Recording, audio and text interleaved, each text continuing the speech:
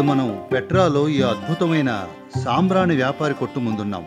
ప్రాచీన కాలం నుండి ఈ ప్రాంతంలో వీటితోనే వ్యాపారం చేసేవారు. పెట్రాలో ప్రాచీన కాలంలో ఇటువంటి పదార్థాలతోనే వ్యాపారం చేసేవారు.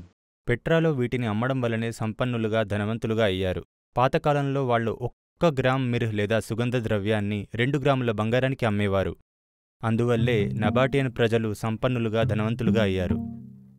మీరు ఆ సంప్రదాయం ఇంకా కొనసాగించడం చాలా బాగుంది. ధన్యవాదాలు. నాకు చాలా సంతోషంగా ఉంది. చాలా గర్వంగా కూడా ఉంది. మీకు తెలుసా ఒకప్పుడు నబాటియన్ ప్రజలకు ఇది ప్రధాన వ్యాపారంగా ఉన్నప్పటికీ ప్రస్తుతం అటువంటి షాపు ఇదొక్కటే. ఈ పరిమళం అద్భుతంగా ఉంది. కానీ నా దగ్గర అంత బంగారం లేదు. ధన్యవాదాలు. ధన్యవాదాలు. ధన్యవాదాలు సార్. మీ ప్రయాణం అద్భుతంగా సాగాలని. కోరుకుంటున్నాను. ధన్యవాదాలు.